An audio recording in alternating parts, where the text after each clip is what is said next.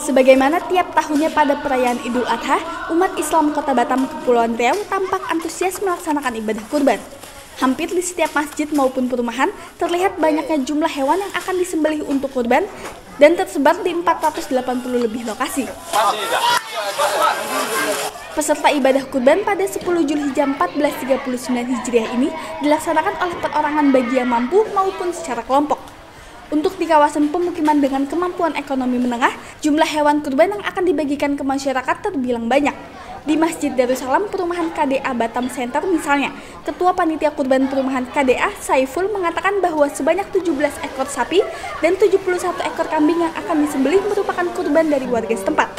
Total untuk kambing sebanyak 71 ekor, kemudian sapi ada 17 ekor, yang nitip untuk numpang motong aja ada satu.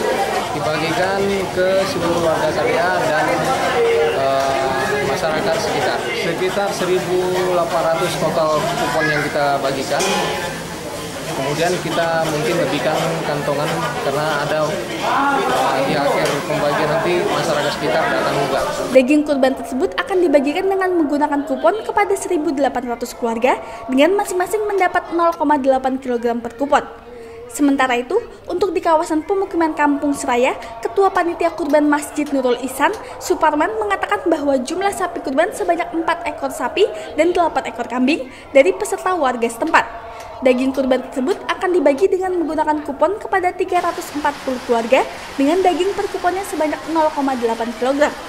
Untuk kupon yang kami sediakan 340 kantong kupon. Uh, mungkin sekitar 8 on sampai 1 kilo. Uh, tahun kemarin 3 ekor sapinya. Uh, kambingnya pun kurang lebih uh, 11 juga uh, alhamdulillah tahun ini ada meningkat tambah satu ekor. Berdasarkan data dari kantor Kementerian Agama Kota Batam, jumlah peserta kurban sekota Batam tahun ini tercatat sebanyak 1.360 orang. Dari jumlah peserta ini, jumlah hewan kurban sebanyak 970 ekor sapi dan 1.798 ekor kambing.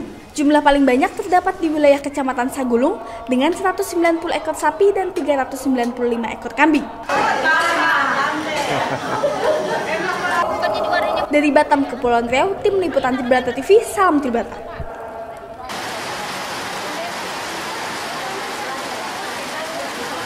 Thank